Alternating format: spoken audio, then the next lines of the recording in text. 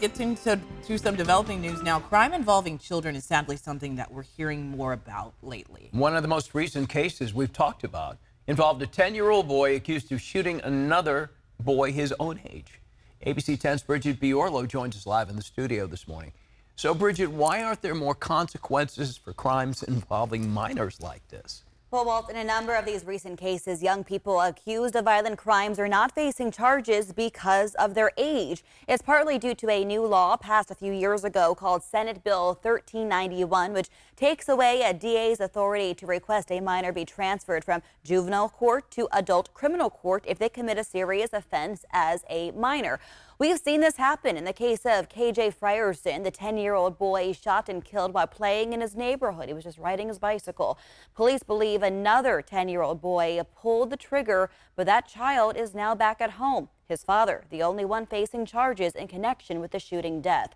We sat down with Sacramento County District Attorney Thien Ho, who said in many of these cases, he's limited in how he can respond. The biggest challenge that we're facing now in our juvenile system in California is really a lack of tools to hold juveniles who commit violent crimes truly accountable. So if you have a 15 year old that is two days or one day short of 16 and they commit a school shooting, they commit a murder, um, you can't prosecute them. Can't prosecute them as an adult. And if you can't prosecute as an adult, then there's a lesser punishment attached to it. So the concern is if teens know they're not going to be punished or not punished harshly for the crimes, the violence will only continue and families of victims will never get justice. Another example in our area, the case of J.J. Clavo, a Grant Union High School football player who was killed uh, by a 15-year-old back in 2015. This was a big story. DA Ho's office uh, prosecuted the case, but when the law changed in 2019, JJ's killer could no longer be charged as an adult. So he was going to face 50 plus years to life in prison for committing that murder and shooting somebody else, an ambush style killing. And instead, he only got seven years. At the age of 23, he was released from jail and is now walking free while his mother, Nicole Clavo, faces a life sentence of having lost her son.